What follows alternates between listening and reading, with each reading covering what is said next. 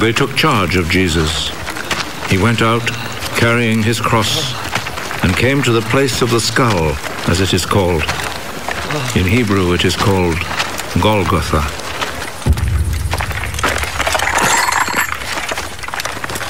There they crucified him. And they also crucified two other men, one on each side, with Jesus between them.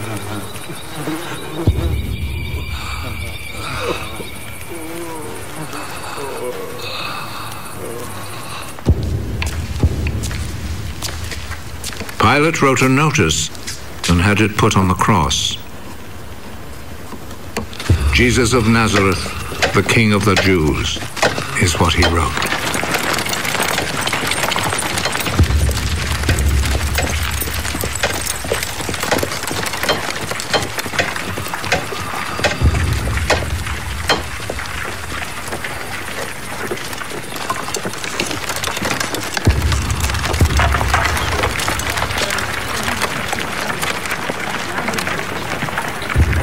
People read it because the place where Jesus was crucified was not far from the city. The notice was written in Hebrew, Latin, and Greek. The chief priest said to Pilate, Do not write the king of the Jews, but rather, This man said, I am the king of the Jews. Written stays written.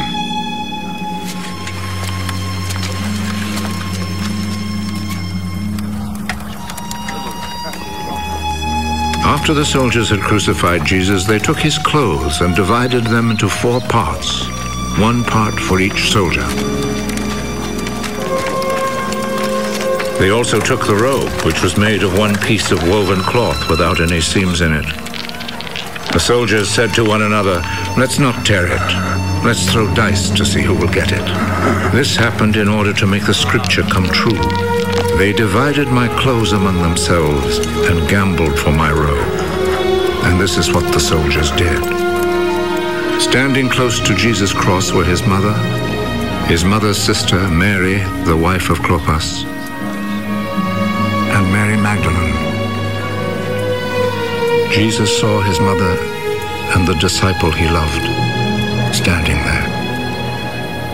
He is your son. Then he said to the disciple, She is your mother. From that time, the disciple took her to live in his home. Jesus knew that by now everything had been completed. And in order to make the scripture come true, he said,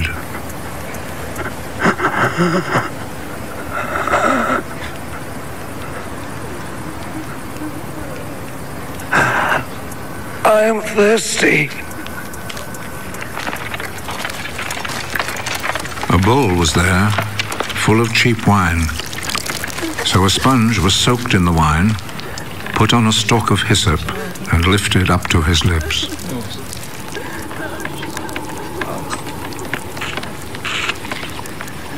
Jesus drank the wine.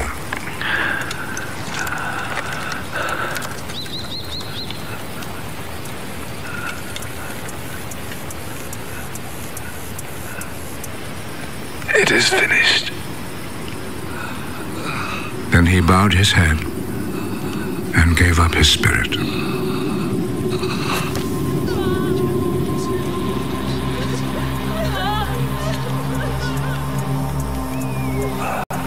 Then the Jewish authorities asked Pilate to allow them to break the legs of the men who had been crucified and to take the bodies down from the crosses.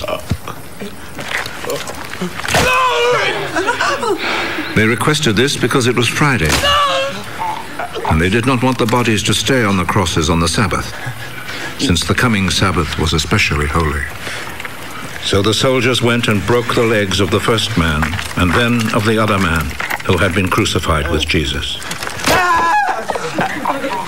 But when they came to Jesus, they saw that he was already dead, so they did not break his legs. One of the soldiers, however, plunged his spear into Jesus' side.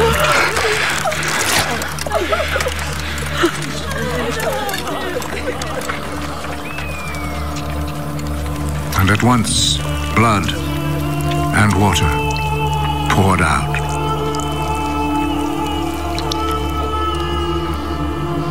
One who saw this happen has spoken of it, so that you may also believe. What he said is true, and he knows that he speaks the truth. This was done to make the scripture come true. Not one of his bones will be broken. And there is another scripture that says, People will look at him whom they pierced.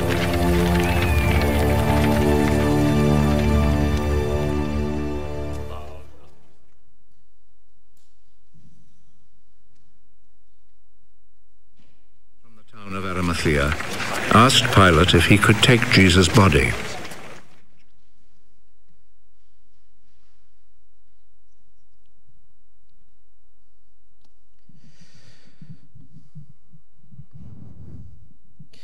Good afternoon, brothers and sisters in Christ. We'll try one more time. Good afternoon, brothers and sisters in Christ. Good evening. I believe it is possible to live in the solemnity of this day, but to also live in its goodness. For indeed, today is Good Friday. So I invite you to turn to your neighbor and say, This is a good Friday. This is a good Friday.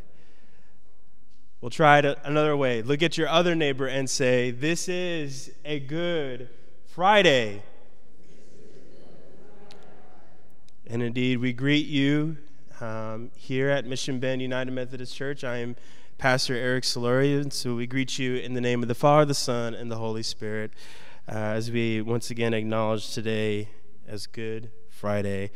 And as we open our time here together, we want to center in on prayer um, because prayer enables us to enter into that unique space where we can cry out to God, but God can speak a word to us and I believe that that is what Good Friday is all about. It's about God reaching to us to meet us in the midst of our pain, in the midst of our anguish and our sorrow. And so God is meeting us here in this space. If you believe that, say amen. Let us go to the Lord in prayer, brothers and sisters. Oh Lord, we acknowledge today we acknowledge the pain and suffering of our Lord and Savior Jesus Christ. We acknowledge the sin, disobedience, and rebellion that held him there, that held him on the cross as he cried out,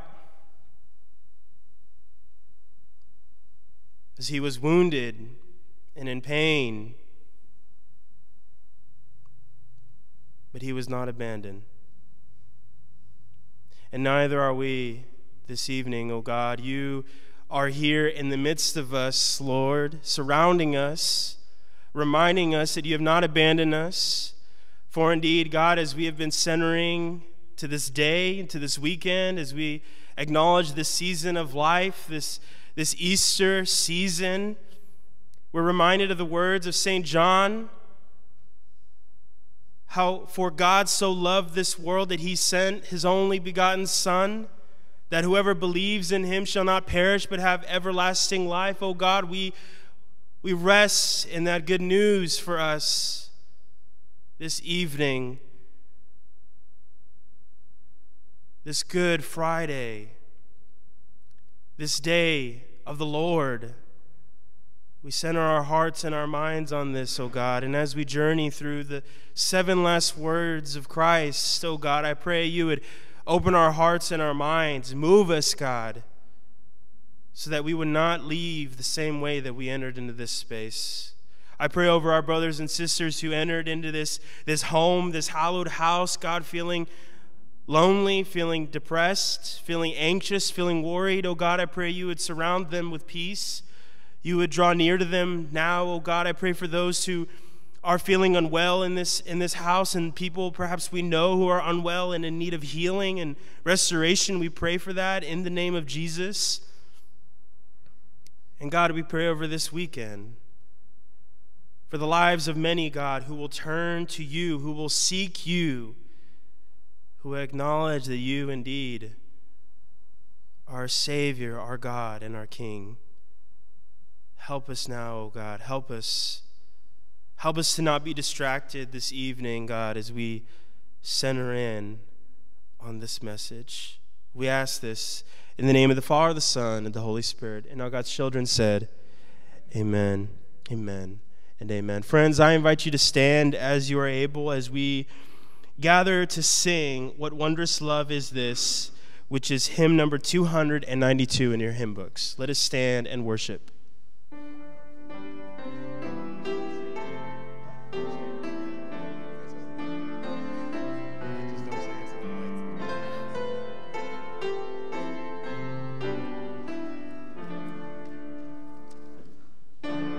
What wondrous love is this, O oh my soul, O oh my soul? What wondrous love is this, O oh my soul? What wondrous love is this that caused the Lord of bliss to bear the dreadful curse? For my soul, for my soul to bear the dreadful curse for my soul. What wondrous love is this, O my soul, O oh my soul? What wondrous love is this? Oh my soul. What wondrous love is this that caused the Lord of life to lay aside his crown for my soul, for my soul to lay aside his crown for my soul.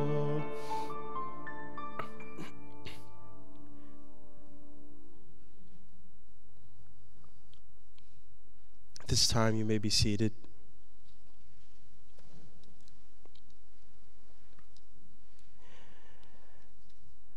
We have uh, prepared some readers to read the seven last words of Christ you may notice that we won't have the scriptures on the screen, and that's not because we ran out of time.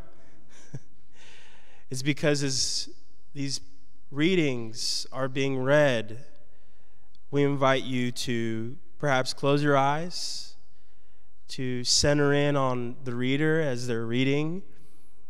And after two readings, we'll sing, and we'll sing, Were You There? And during those times of singing, you'll be invited to stand as you are able. And so let us prepare our hearts and our minds, brothers and sisters. When they came to the place called the skull, they crucified him and the criminals there, one on his right, the other on his left. Then Jesus said, Father, forgive them. They know not what they do. Luke 23, verse 34.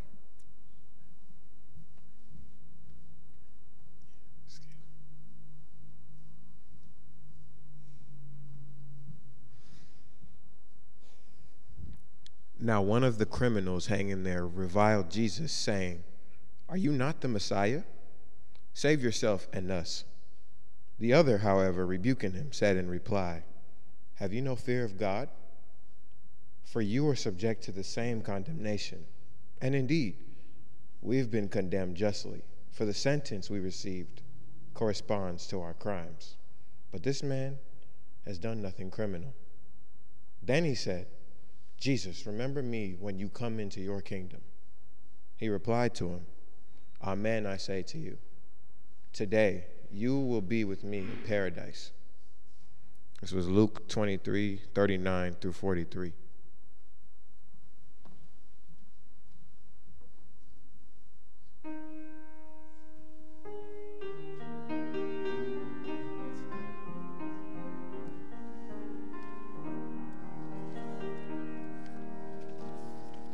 Are you there when the crucified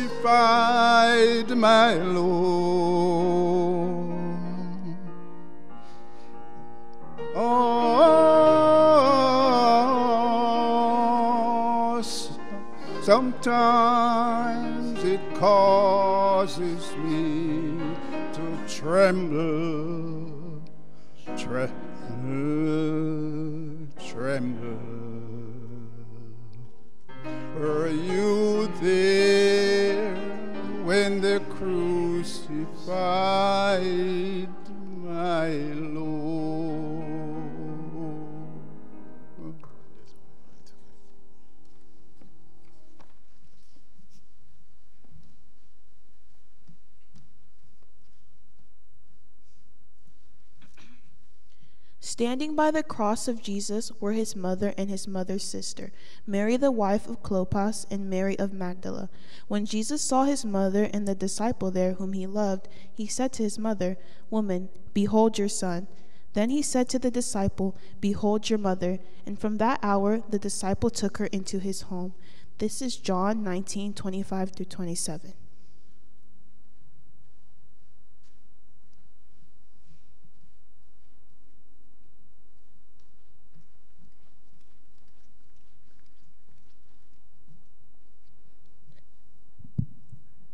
After this, aware that everything was now finished, in order that the scripture might be fulfilled, Jesus said, I thirst.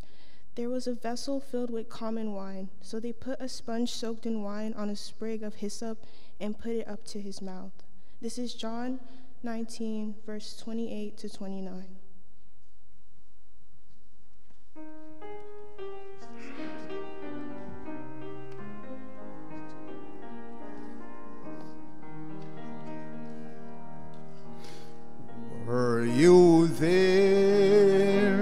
When they nailed him to the tree?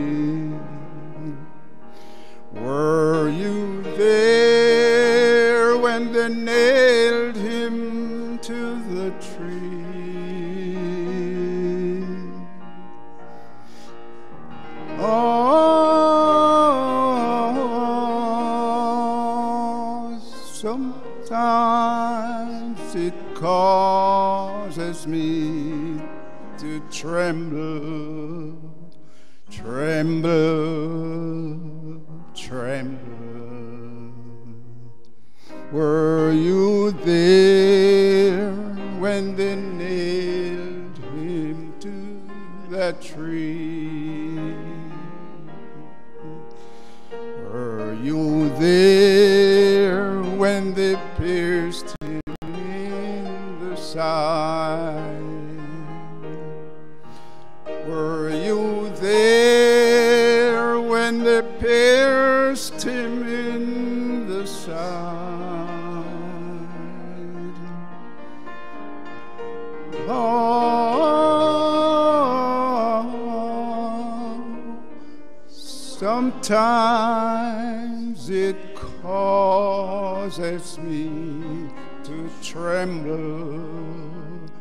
tremble,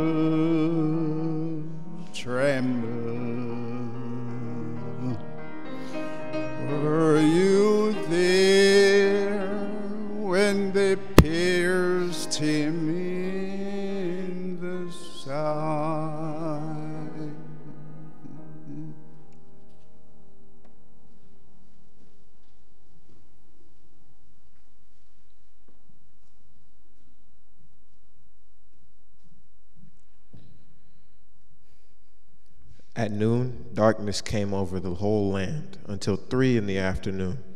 And at three o'clock, Jesus cried out in a loud voice, Eloi, Eloi, lema sabachthani, which is translated, My God, my God, why have you forsaken me? This is Mark 15, 33 to 34.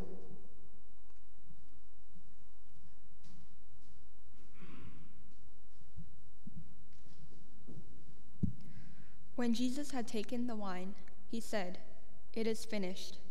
And bowing his head, he handed over the Spirit.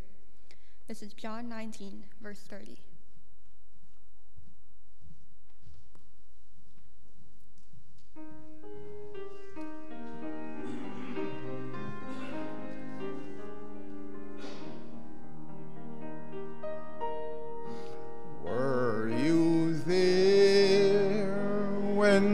Sun refused to shine?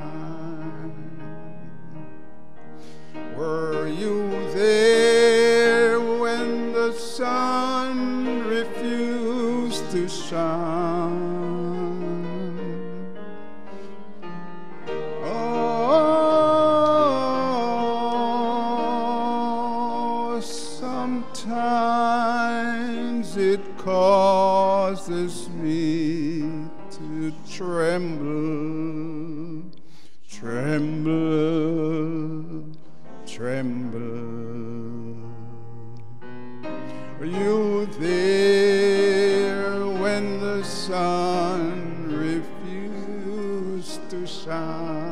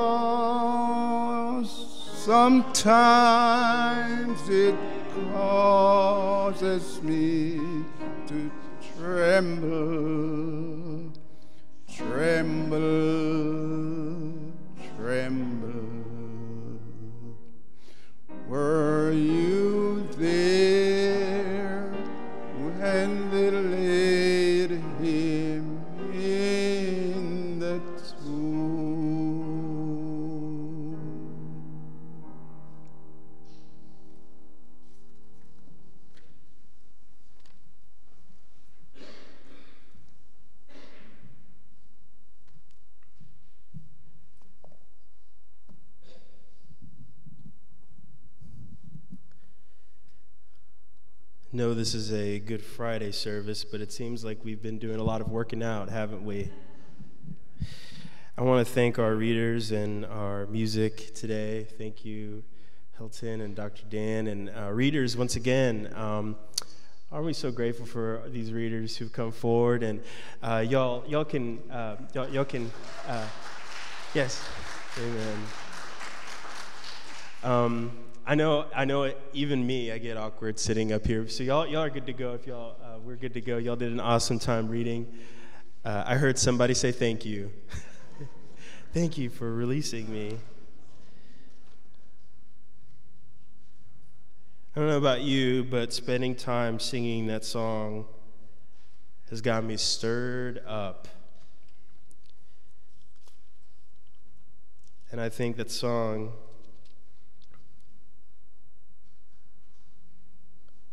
calls to mind where we kind of fit in the story.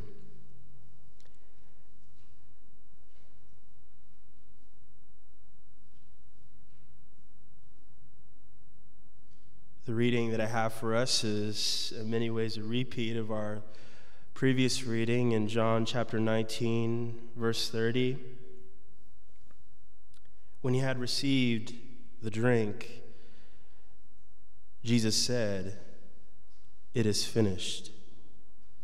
And with that, he bowed his head and he gave up his spirit. I invite you to turn to your neighbor and say, It is finished. Join me as I pray for us. Oh God, we've gathered here.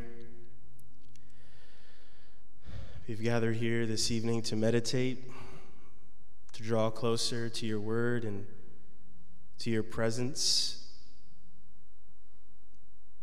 God, I believe that your presence is tangible in this space. I feel it as I hear the voices of those gathered in this house singing these songs mouthing the verses that we've been reading. And God, I just pray that you would move aside any distractions at this point and allow us to just hear from you, to listen closely to what you have to say to us. And God, I repeat my prayers from earlier. Oh God, I pray over those who've entered in this room I pray over their hearts and their minds. I pray for those who are also tuning in online. Thank you for the blessing that is being here this evening. And I pray, oh God, over the words that come from my mouth, that you would take control of my mouth and tongue now, O oh God, and that you would indeed hide me now behind your cross. We ask this in the name of the Father, the Son, and the Holy Spirit. Amen.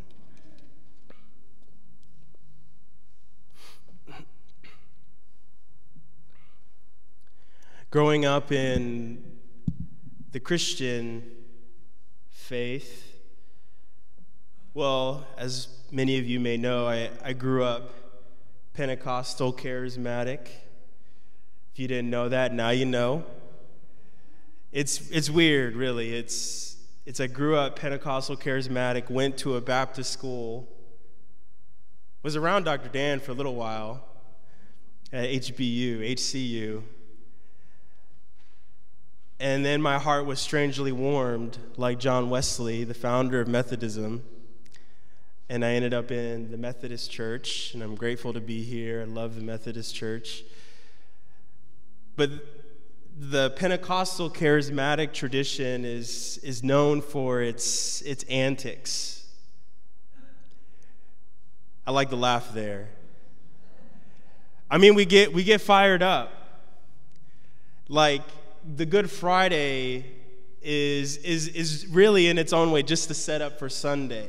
And I don't mean to make every church like that. But I grew up in my faith saying, Good Friday, but Sunday's coming. And yet, as I've matured in my faith, I've learned that lingering in, into Good Friday allows me to reconcile with my pain, with my sorrow, with my sin. And it enables me to draw closer to a God who knows my pains, who knows my sorrows, so that when he rises on the third day, I can live into that hope, that living hope that St. Paul talks about.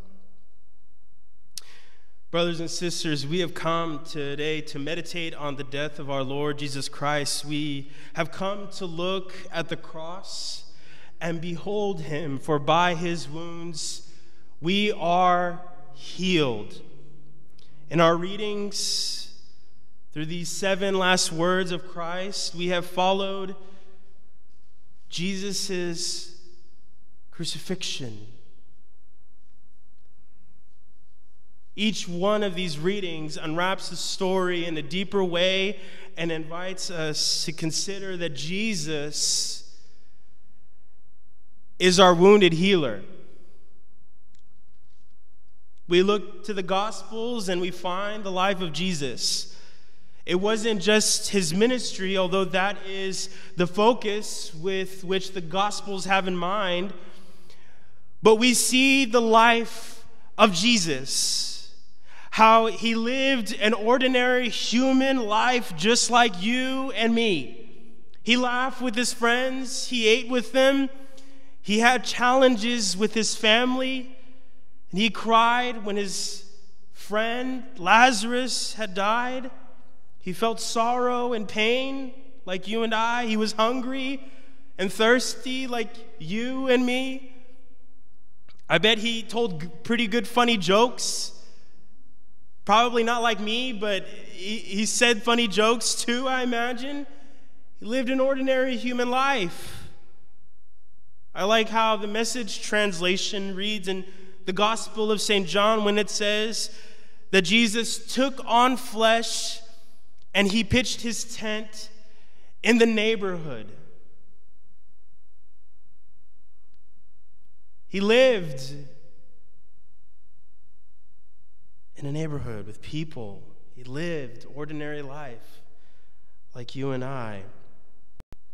Jesus was fully human and fully God. And yet, like all of our lives, we read of the challenges that Jesus had experienced, how he was tempted by worldly passions and desires. He, he was rejected by his own family. Can I get a amen? He was ridiculed by religious leaders for eating with tax collectors and sinners. And on a day like today, he would be betrayed by his own followers those whom he loved and trusted, those whom he loved best.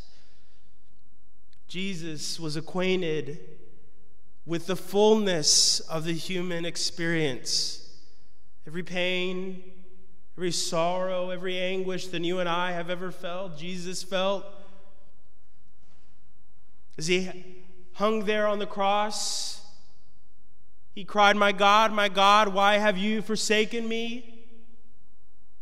Anybody else ever prayed that prayer and felt abandoned and felt isolated, felt alone?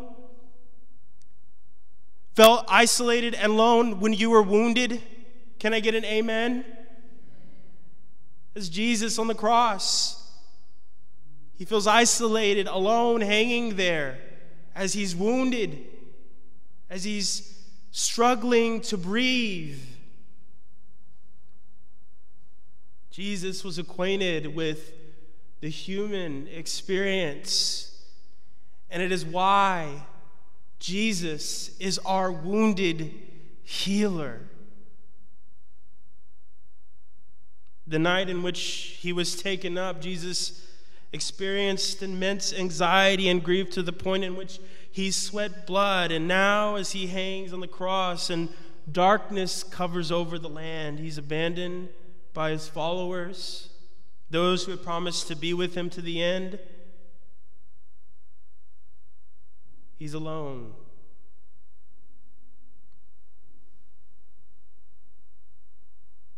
And yet, if we had followed the story well enough, we would know that this was coming. Jesus has, for, foreshadowed his death many times throughout the Gospels, and yet his disciples had struggled to believe it. They often questioned him about it. I imagine that they couldn't handle the thought of losing someone who had known them so well, seemed, seemed to know their different challenges, and cared for them like no one else did. But as we look on to the cross, even as we have one here in this space. Re- recall the words, Jesus' words in the Gospel of St. John, chapter 3, when Jesus said, Just as the serpent was lifted up in the desert, so the Son of Man must be lifted up. It's a reference to the story that we find in the book of Numbers as the people of Israel are, are bitten by serpents and so Moses is instructed to make a bronze serpent and place it on a pole, and those who would look on it would be healed. And so the Son of Man must be lifted up so that those who look on him would find their healing. Jesus was acquainted with the human experience, our sorrow, our anguish, our fears. He's acquainted with all of it. And yet, as he takes the cross and is crucified,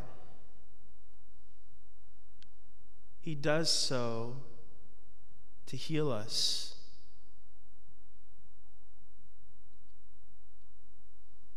Isaiah 53 reads, Surely he took up our pain and bore our suffering, yet we considered him punished by God, stricken by him, and afflicted.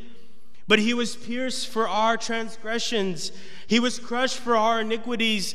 The punishment that brought us peace was upon him, and by his wounds we are healed. We all, like sheep, somebody say, all we all, like sheep, have gone astray. Each of us has turned to our own way, and the Lord has laid on him the iniquity of us all. Jesus, who was acquainted with the fullness of the human experience, takes on our pain and our suffering, our sin so that you and I could be redeemed, restored, peace back together, healed. That is indeed the work of Christ in our lives, and that is the reminder of Good Friday.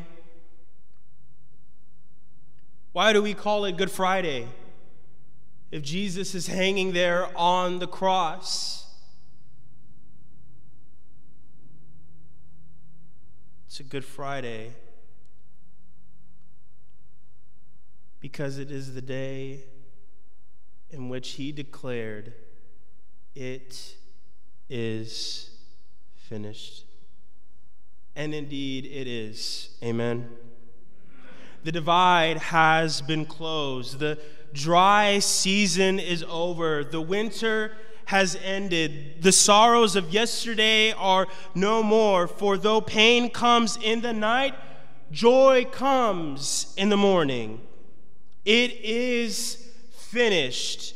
That which burdened us before is no more, it is gone. The account of debt of our sin has been satisfied. It is finished. Brothers and sisters, let us not despair this evening as Jesus hangs on the cross. Let us live in the healing that our wounded healer gives us, provides for us. And let us be reminded that it is finished here and now. It is finished. Would you join me as I pray that over us? Even if you have to murmur it to yourself silently, just say, It is finished. It is finished. It's over. It has been canceled. Death has been defeated.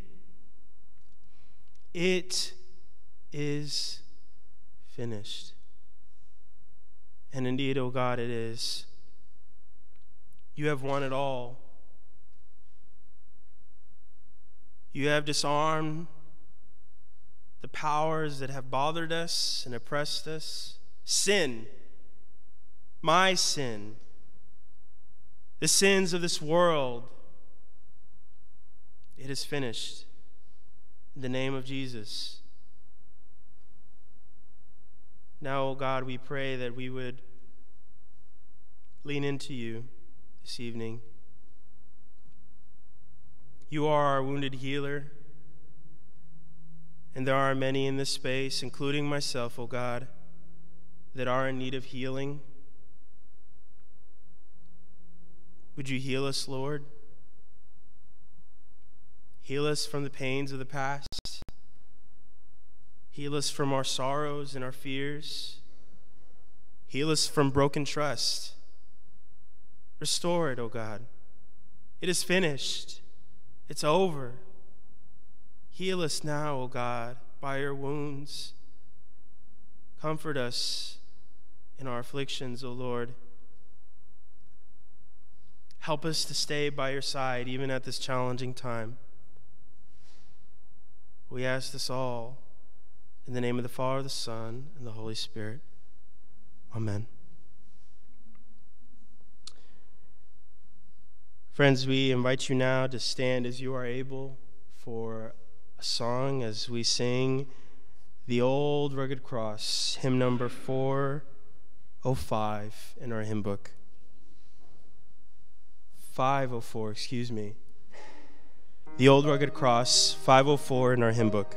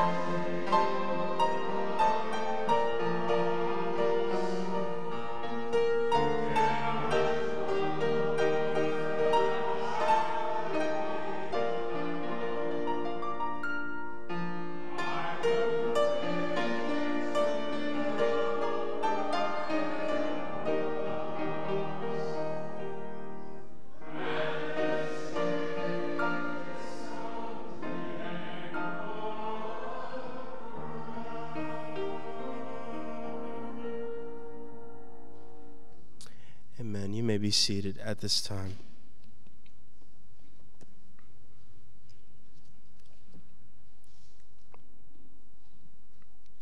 We have now come to our time of sharing of our presence and our gifts. And indeed, we thank you for joining us this Friday evening. Uh, so, if you are here in the, in the house with us, we invite you to just mark your attendance on the attendance pads. And if you are tuning in online, we invite you to mark your attendance online at mbumc.org. Um, and this is also our time to bring forward our gifts, that which the Lord has impressed on your heart to bring to Him. And so let us give thanks for these gifts. As we pray for our presence and our gifts, our ushers will come forward, and afterwards we'll have our closing prayer and then our benediction. So let us now pray over our presence and our gifts. God, we thank you for the blessing that is this day, a day of our Lord. And we thank you, God, for the blessing that is being here in this house. We pray, God, that you would also bless the gifts that we bring to fulfill the needs of this, your church. We ask this in Jesus' name. Amen. Be blessed, church.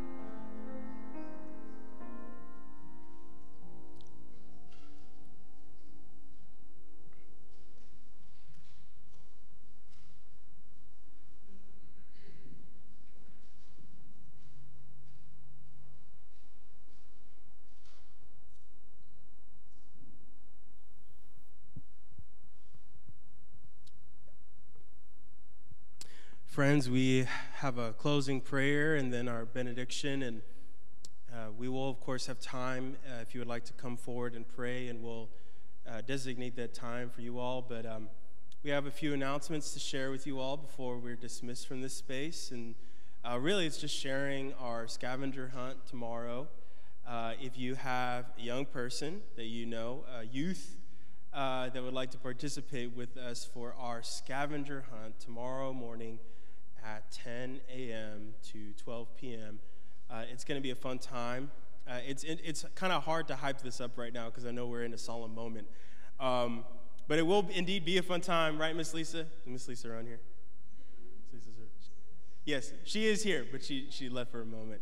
Um, so, youth, if you're here, we, we want to um, cel- uh, celebrate this season as well with you all. And so, come out for our scavenger hunt.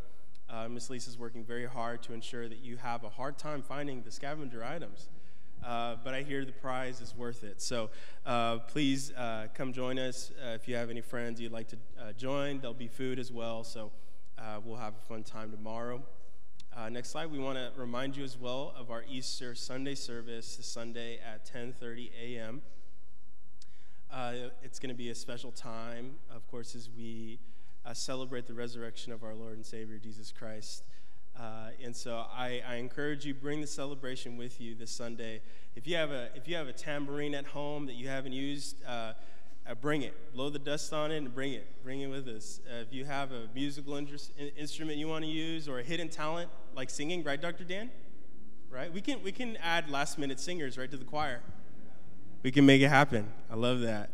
So we're so grateful for Dr. Dan as always. Thank you, thank you, brother, and Hilton as well. Thank you for singing for us, brother. So, uh, back on track here. Uh, Sunday, East, uh, East, this uh, Easter Sunday, this Sunday, uh, and then of course uh, we have our prayer breakfast um, that is on April 13th there, and I love the theme. when women cry out, God answers. It's our Just Us Girls prayer breakfast. Uh, and our, our ladies have been working hard and uh, have been prayerful over this. It's going to be a very special event. We, we, want, you, we want you to miss it. And gentlemen, uh, don't feel left out. Uh, I will be there as, as, a, as, well as other gentlemen who will also be participating. Uh, but let's, let's expect that we're probably going to be more helpful on that day uh, and still yet more prayerful as well. So you can purchase your ticket today as well, too, if you are needing to do that. So. All right, friends.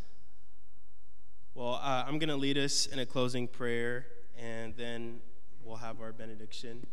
And uh, let us pray.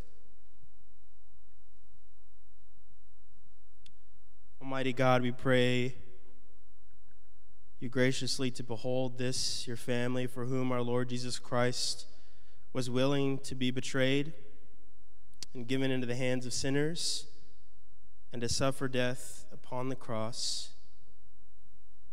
He who now lives and reigns with you in the Holy Spirit, one God, forever and ever. Amen. One thing I love doing here at Mission Bend is uh, being able to acknowledge our altar here. And so I invite you to stand as you're able to receive the benediction.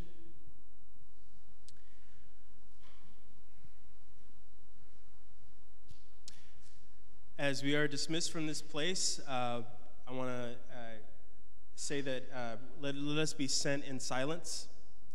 Uh, and so, uh, if you would like to come forward after the benediction to, to pray, the altar will be open.